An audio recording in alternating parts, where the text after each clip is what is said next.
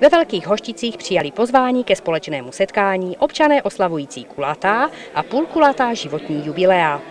Tak dneska tady ve Velkých Hošticích máme setkání jubilantů, to znamená občanů, eh, kteří letos oslavili 75, 80, 85, 90, 91 a více let.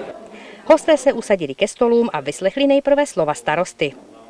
Ten přál seniorům jen to nejlepší do dalších let a hlavně pevné zdraví. Následoval symbolický přípitek.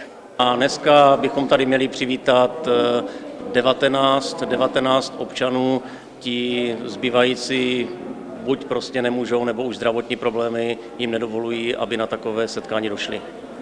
Součástí akce byl i hudební program, ve kterém zaznělo několik písní s hudebním doprovodem. Bude tady vystupovat eh, Scholíčka, která eh, zaspívá eh, asi pět písní a potom je pro jubilanty připraveno bohaté občerstvení, máme tady připraveno prostě večeři, bude se pít vínko a já doufám, že bude dobrá atmosféra. Hosté si tak užili příjemně strávené chvíle se svými přáteli.